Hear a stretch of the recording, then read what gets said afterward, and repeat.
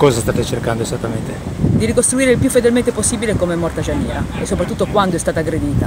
Io ho partecipato anche alla perizia, sono consulente chiaramente della famiglia a 360 gradi, essendo psicologo ho partecipato anche a quell'attività, l'ala mia è completamente capace di intendere di volere, quindi sotto profilo giudiziario la perizia ha certificato la piena capacità di stabilire cosa fare e di volerlo fare, quindi sotto questo aspetto nulla rileva i fini giudiziari, la perizia lo rende pienamente imputabile.